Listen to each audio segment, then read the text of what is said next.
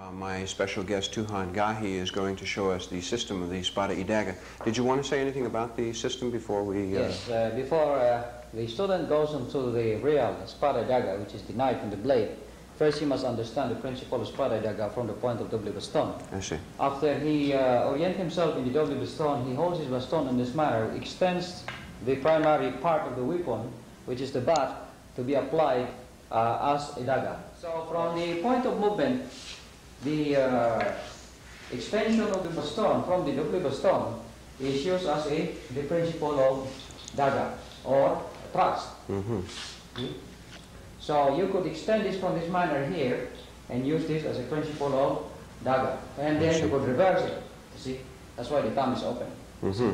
So again, from this point, yes, from the point, ah, mm, see, it comes up, Mm. up, then comes and makes your multiple blows as far as slices and trusses are concerned. Mm-hmm. So from the point of uh, the real blade, the application is applied.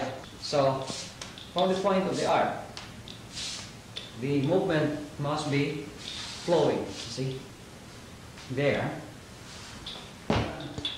with the beauty from the point of angling, from the point of circular movements, and such that surrounded areas or the areas around you must be covered by the movements.